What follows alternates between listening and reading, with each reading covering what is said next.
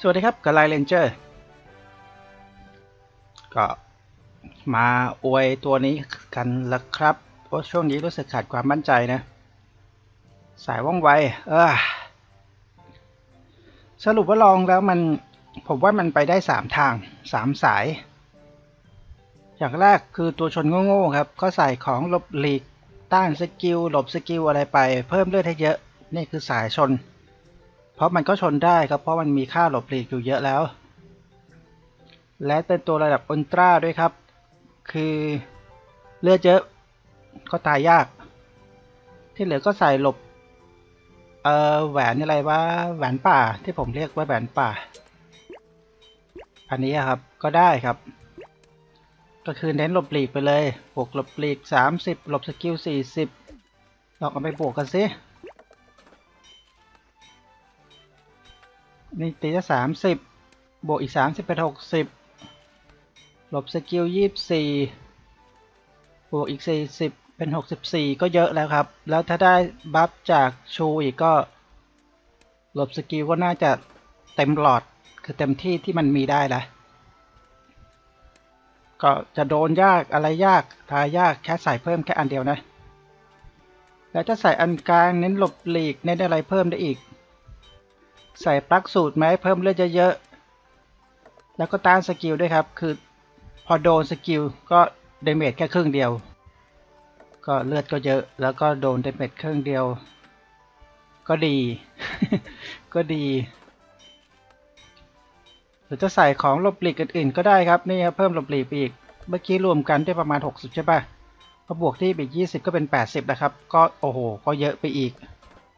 แถมมีการกายภาพด้วย มีตาสกิลอีกเฮ้ยอันนี้เหมาะเหมาะเลยนี่หว่าสำหรับสายลบหลีก ก็จะกลายเป็นตัวชนถึกๆได้หนึ่งตัว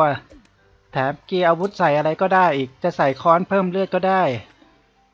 ก็น่าจะถึกขึ้นอีก หรือจะใส่มุมแมลงวิ่งวิ่งไวดีเปล่า ก็ไม่รู้ก็เอาแล้วแต่ แล้วแต่จะเลือกครับ นี่คือหนึ่งสายชดสายชนถึกๆครับ ต่อไปสายอะไรดี สายที่ผมใช้ก่อนแล้วกัน เอ้ยสายที่ผมใช้ก็เห็นอยู่นะกลัวลืมสามสายใช่ป่ะที่โมโมไปก็อีกสายหนึงน่าจะเป็นเน้นติดสกิลเราเราเรามังครับ เน้นติด skill เน้น buff ให้เพื่อนอะไรพวกนี้ ก็ได้ ก็ไปหาเกียร์ใส่กันเอง มีเกียร์อะไรเพิ่มติด skill อันนี้ก็อาจจะอันกลางก็เน้นทำ damage ไปใส่มันเหมือนกัน และอันหลังอาจจะใส่กระเป๋าอะไรพวกนี้ไป เพิ่มติด skill เพิ่มหลบ skill ไป และอาวุธก็อาจจะเป็นอาวุธพวก ถ้ามีปืนของของเคนชิโร่เนี่ยแหละปืนลาโออะไรพวกนั้นก็น่าจะได้มันก็ใส่ธนูเพิ่มโอกาสติดสกิลไป ก็ไปเป็นอีกสายหนึ่ง ส่วนสายผมก็บ้าบอครับ ก็เห็นมันมีบัฟติดคลิก็เลยใส่ ของเพิ่มคลิเดคีเลตคีเดเมจมา คือตีธรรมดาก็น่าจะติดคลิทุกดอกครับ ก็หกสิบเจ็ดสิบสามเปอร์เซ็นขั้นต่ำ คือแล้วถ้ามันติดบัฟตัวเองอีกก็ ทะลุหลอดเต็มแม็กแน่นอน แล้วคลิทีหนึ่งเจ็ดเท่า อันนี้ก็ตีแค่สี่แสนแล้วกันแล้วรวมบวกแล้วสี่แสนเจ็ดเท่าก็เจ็ดสี่ยี่แปดครับสองจุดแปดล้านครับ ตีหนึ่งครั้งสองจุดแปดล้าน แต่ค่อนข้างจะตีช้านะสองวิโจมตีหนึ่งครั้งโดยประมาณสองวิสามล้านสองวิสามล้านประมาณเนี้ยโอเคปะล่ะสองวิตีสามล้าน ผมก็ว่าโหดนะ แต่เท่าเท่าพี่เท่าที่ไปลองมาก็ยังไม่เวิร์กว่ะแต่ต้องคิดอีกทีว่าจะไปเปลี่ยนสายไปสายอื่นหรือเปล่า อะ ตอนนี้ยังไม่เต็มก็ประมาณนี้นะครับ ก็เลือดก็ถึงถึงล้านแหละ แล้ว buff ข้างหลังอีกสามเท่า ถ้าเลือดล้านเนี่ยก็บวกอีกสามล้านก็เลือดสี่ล้าน คือจะไปหลบหลีกหรือจะไปตีมันก็พอได้หมดแหละ แถมตีกายภาพก็ค่อนข้างแรง คืออย่างที่ว่าสามสายครับ สายตัวชนโง่ๆหรือจะเป็นตัวเน้นติด skillหรือตัวเน้น crit ได้หมดครับ ลองดูเดี๋ยวผมจะลองดูนี่แหละ อันนี้เล่นสายติด crit ก่อนคือกะเอาไว้โต้กลับแล้วก็สะบัดสะบัดใส่เลยไงเออ แล้ววิธี level up เร็วๆนะครับสำหรับคนใจร้อนแล้วไม่มีกบเขียวแล้ว ตัวที่จะเอามาอัปเกรดด้วยก็ เอาเป็นตัวที่ไม่มี skill ครับ คือตัวที่ยังไม่ได้เป็นดาวที่มี skillอย่างนี้มัน7ดาวใช่ไหมที่มี skill อะตัวนี้ 5 ดาวก็เอาไปเก็บเลเวลให้เต็มครับ แล้วเอามารวมล่าง อย่างนี้ก็ยังไม่มี skill เป็นแค่ 7 ดาว มี skill ตอน 8 ดาวหรือ ultra ก็ up level ให้เต็มแล้วก็เอามากินได้ แต่เป็นอีกวิธีหนึ่งครับ คือตัวมี skill ถ้าไม่ใช้ให้เอาไปย่อยอย่างนี้มี skill แล้วใช่ป่ะ ก็ผมไม่เอามากินครับ เดี๋ยวเอาไปย่อยเอาแร่ครับ เพราะมันจะได้แร่ผลึกสีม่วงสีดำนั่นแหละ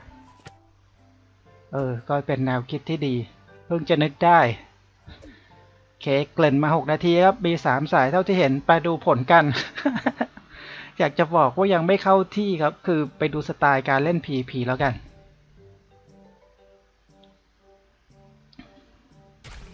ยังเป็นที่น่าผิดหวังครับ อะ ดูเกมล่าสุดแล้วกัน มีเกมที่แพ้ด้วยครับ คือเวลาจะแพ้ก็แพ้งงๆอะครับ อุ้ยอีกแล้วนะอ่าอะ ไปดูสไตล์การเล่นของผมครับ มันก็เลยไม่จำเป็นกับทีมเท่าไหร่เนี่ยจะไม่เอาตัวชนออกเลยครับ แนวหลังล้วนๆครับ คือตัวไหนแลดขึ้นไปอย่างนี้ก็ตายซะครับนี่ครับจบแล้วครับ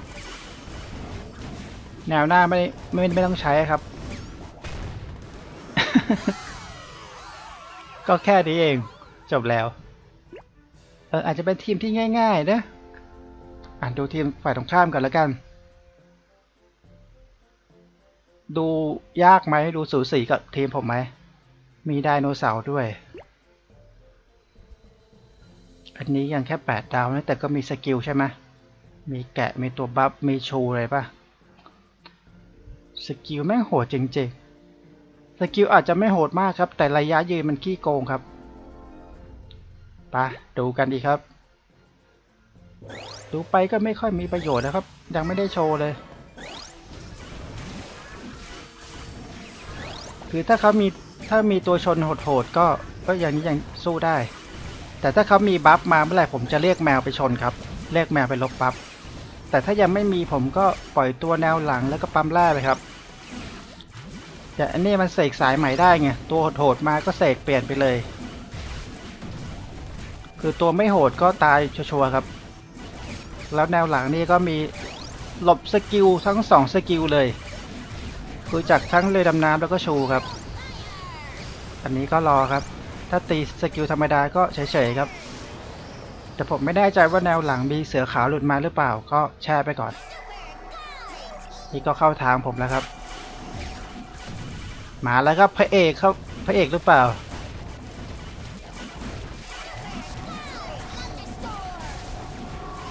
จังหวะพัดกลับครับกลัวเล็ก ๆ ครับ แต่เราติดอมตะอยู่ก็ไว้ใจ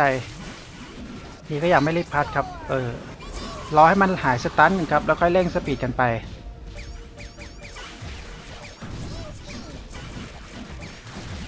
ใจผมคิดว่าให้ตัวนี้มันแหวกแหวกแบบเคนชิโร่เลยนะที่แบบเตะหายเตะหายอะแต่แค่นี้ก็โหดแล้วล่ะนะ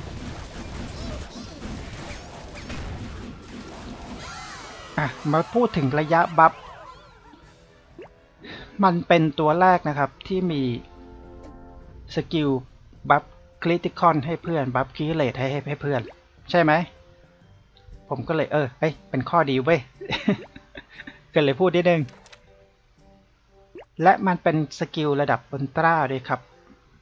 อันนี้ skill 8ดาวก็จะค่อนข้างกากหน่อย ก็คือระยะมันแคบครับ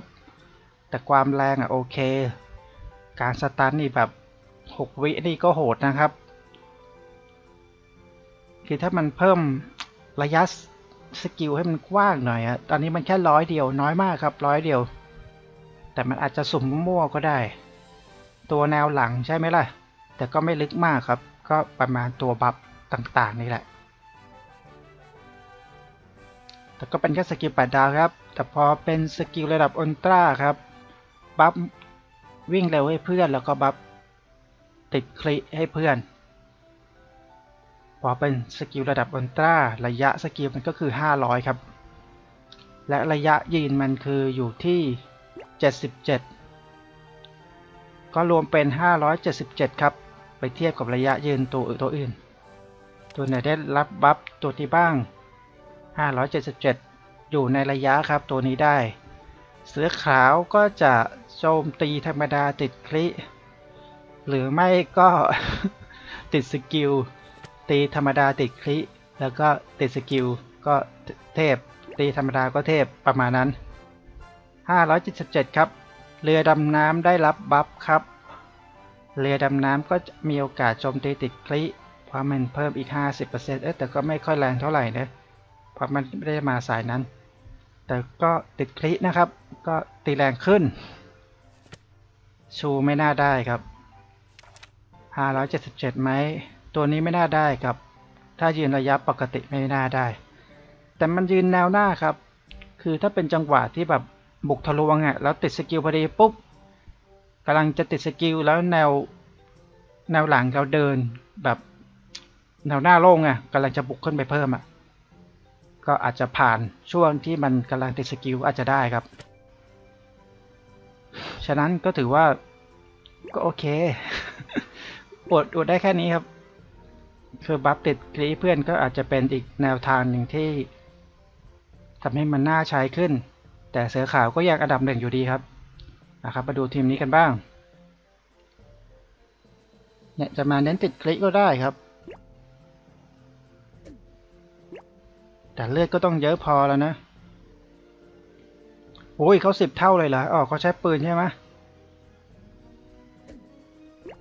มันจะใช้กระเป๋ามันมันผมอะนะเราก็ใช้ปืนสิบเท่าสิบเท่าสี่แสนก็ตีธรรมดาสี่ล้านครับสี่ล้านก็ตายเยอะแล้วนะ แต่อย่างว่าครับตัวแนวหน้ามันบางทีก็อาจจะปรับไปเป็นตัวชนโง่ๆก็ได้ อะดูต่อครับ เราจะดูอันนี้สินะ แล้วก็เปลี่ยนไปอันอื่นเฉยเลยปะคะ ไปครับ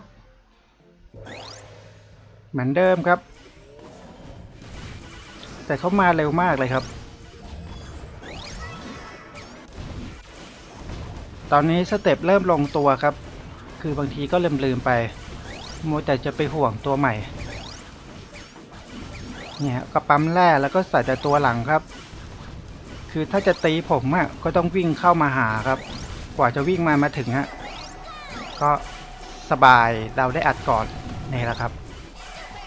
ที่จริงทีมแนวนี้ก็เป็นความฝ่ายฝ่ายฝันความฝันของผมมานานแล้วนะ คือแบบไม่ใช้ตัวชน แต่มันก็ยากไงเพราะกว่าจะมันตัวชนตัวแนวหลังมันควจะเลือดน้อยไงแต่พอมายุคสมัยนี้มัน เรารีบฟีดไปหน่อยนะ ยุคสมัยนี้มันตัวแนวหลังระดับอุลตร้าเลือดมันเยอะไปแล้วแต่เราก็เรียกพระเอกมาครับ เนี่ยปั๊บติดไป แล้วเพื่อความชัวร์ครับพัดกลับไปเลย เนี่ยเนี่ยเห็นปะหลาย ๆ ตัวก็ได้รับปั๊บติดคลิคือถ้าติดมาปุ๊บผมว่ากระจุยกระจายเลยครับ โอเค เมื่อกี้ทีมก็ค่อนข้างสูสีกันนะ อะ ส่วนทีมนี้ก็ โอ้สบายแล้วมั้ง ตรงนี้ก็เห็นสบายแหละ มันจะไปยากตรงที่ความยากของมันก็คือ ตัวฝ่ายเราไม่ติด skill ครับ อะฮะมาดูทีมนี้ คือผมงงมากเลยผมทำอะไรเขาไม่ได้เลยครับว่าเกาอีกแล้วครับ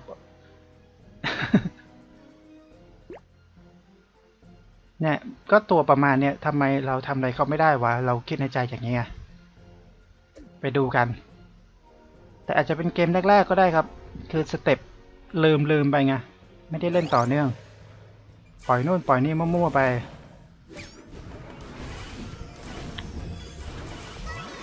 ขึ้นหลบกระจุยกระจายเลย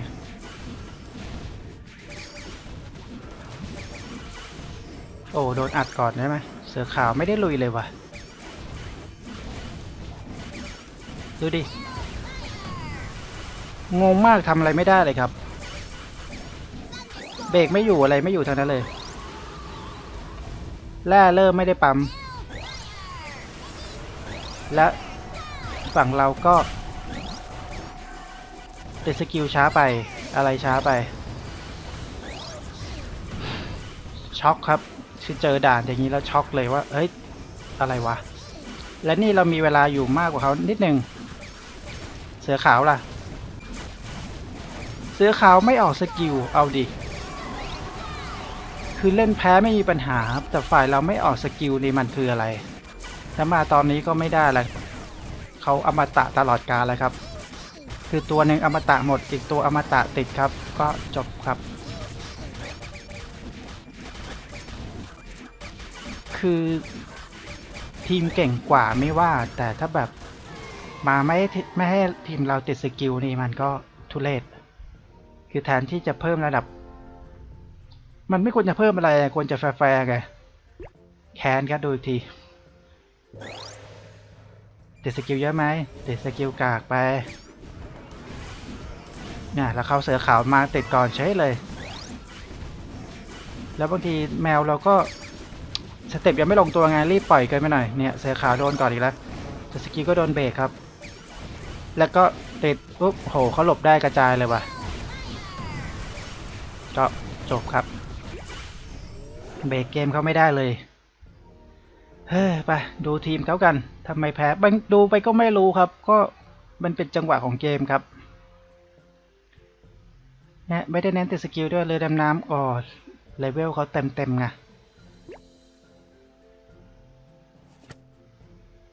ชูก็ร้อยสี่สิบครับ ตัวชนมาแนวนี้ก็เล่นด้วยยากนะ เนี่ยสายว่องไวที่ผมว่าชอบไง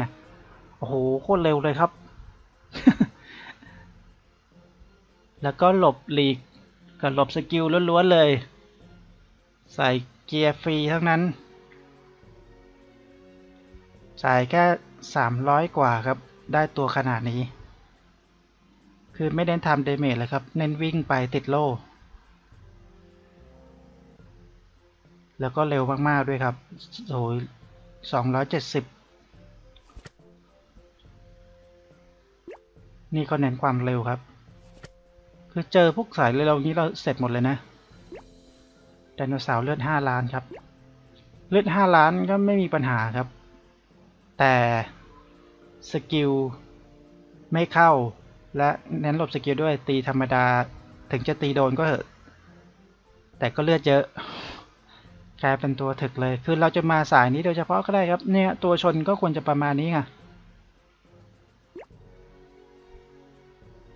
อาจจะต้องเรียนแบบครับ โอ้ สุดยอด ตัวชนนั้นเดินเร็วๆ เติมเกมไม่ทันครับ แล้วก็ถึกๆ เขาอาจจะอัพค่าอย่างอื่นเต็มแล้วก็ได้ โอ้ย โอ้ยเลยครับ มีสองตัวนี่หว่า ใส่เหมือนกันได้เลยครับ ก็เลยโคตรถึกเลยทีนี้ ไดโนเสาร์มีอะไรดีวะ อ๋อรถดีเฟนต์ก็ธรรมดาเลยแล้วก็เคลียร์ได้ด้วย พยายามดูครับว่าแพ้ยังไง อ่าโอเคแพ้ก็แพ้ยอมไป แต่ดูไปก็ไม่เข้าใจอยู่ดีครับ ทีมนี้เราสู้ไปยังอ๋อเขาตัวไม่ครบก็อย่าดูเลยดีกว่า คือมาในระดับนี้ผมก็ว่าทีมน่าจะพอๆกันแล้วล่ะครับ คือมันก็ห่างกันด้วยเนี่ย มันเขาอ่อนกว่าทีมผมไหมล่ะ ก็ไม่น่าจะอ่อนกว่าใช่ไหม หลาย ๆ ตัวก็ใส่ของดีด้วย อะ ดูกันครับสักรอบหนึ่ง ทิ้งท้ายดูแบบ ชนะไง ชนะปิดท้าย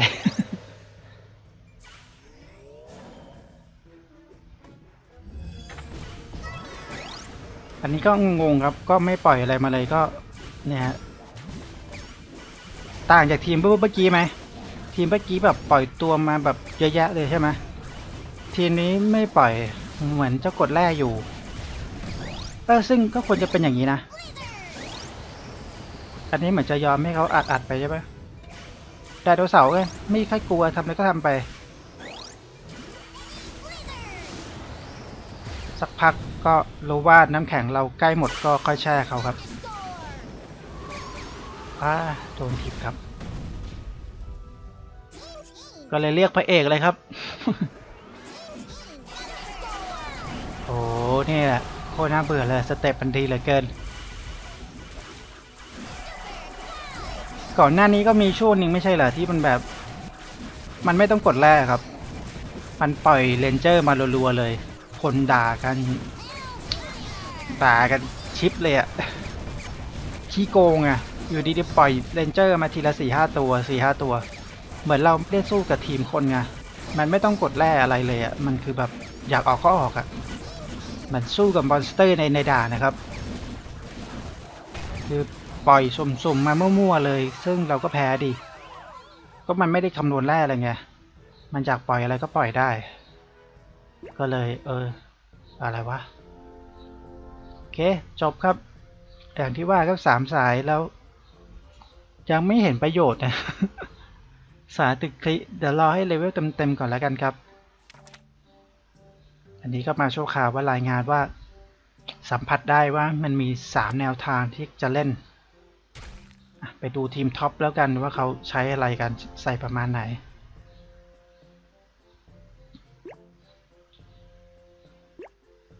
นี่ฮะหลบหลีกครับ เป็นตัวชนโง่หลบ skill สองอย่างเลยครับ เพิ่มเลือดด้วย แล้วก็เน้นติด skill ด้วยอันนี้ ไอดีนี้ผมไม่มีครับ น่าเสียดาย แล้วเขาก็จะได้ตีไม่ค่อยแรงเท่าไหร่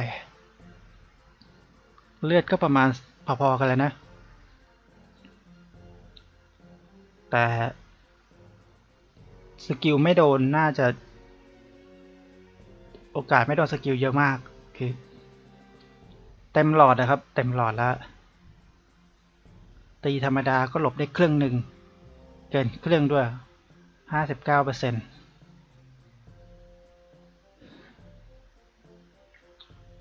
แค่นี้ก็ตายยากแล้วล่ะฮะจะเอามาตัวชนอย่างนี้ก็โง่อย่างนี้ก็ได้ ติด skill ได้ด้วยนี่หว่าโอ้โหเขาทำ ultra เลยว่าเอ้ย super super ultra เลย คนนี้อะโอ้มาแนวเดียวกันครับ คือเป็นตัวชนมันก็ได้ประมาณนี้ครับ สงสัยเขาจะไม่ไปแนวอื่นกันเลย นี่ก็ใส่เหมือนกันหมดเลยว่ะโหนี่เราก็ต้องอินดี้ครับ เราไม่อยากจะเหมือนเขาแน่นอน รู้สึกคันครับ ถ้าทำอะไรเป็นเหมือนเขาเออ คนนี้แตกต่างหน่อยเขาเน้นหลบ skill แล้วก็ move speed ครับ อันนี้ไปสายตีแรง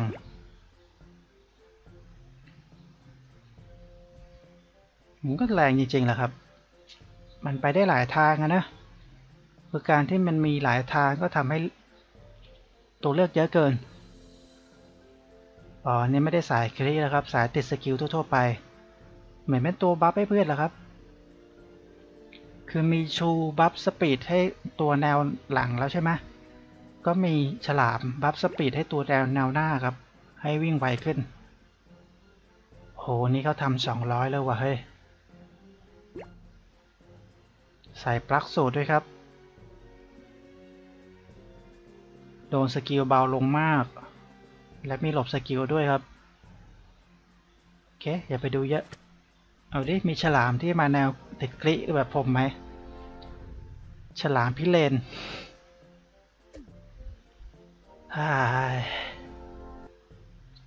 แต่ก็มีกันทุกคนนะ หรือว่าเป็นตัวใหม่วะ ก็เลยฮิตกัน ส่วนใหญ่ก็เน้นหลบ skill ให้ได้เลยนะ ผมก็อาจจะต้องทำเหมือนกัน เนี่ยหลบ skill ให้ได้ก็น่าจะสบายแล้ว ใส่คอนเพิ่มเลือดด้วย อันนี้ก็เพิ่มเลือดแล้วก็หลบ skill โอ้โหตรงนี้เลือดไปหกล้านเลยว่ะ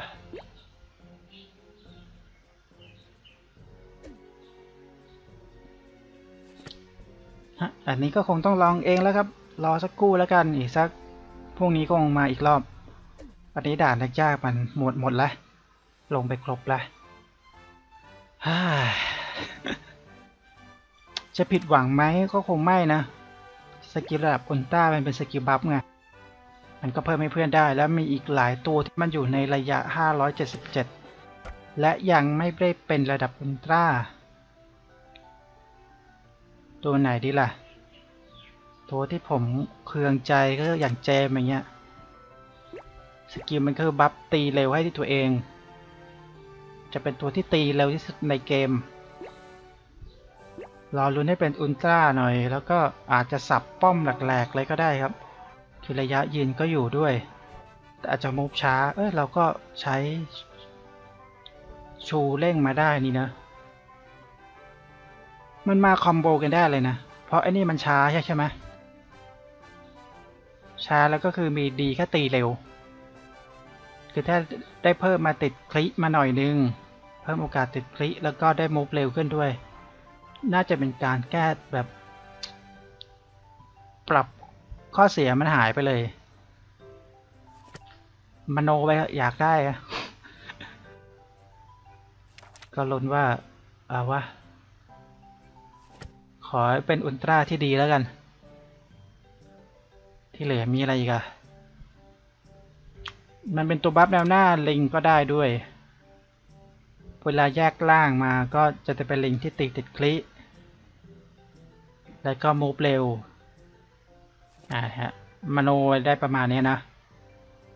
แกะได้ปะวะห้าร้อยเจ็ดสิบเจ็ดแกะก็ได้ครับ แกะก็จะตีติด crit เคนชิโร่เหรอ เพิ่ม crit damage ให้ตัวเองสามพันเท่าเคนชิโร่มันมี move เลยปะวะ เออ มันตีเลยเป็นปกติ มูฟก็เยอะอยู่ เออ เอาวะ เดี๋ยวก็คิดอีกที แนวทางทักเรื่องมาเยอะเหลือเกิน โอเคครับ เดี๋ยวจัดทีมแล้วก็ไปละ พักผ่อน อะ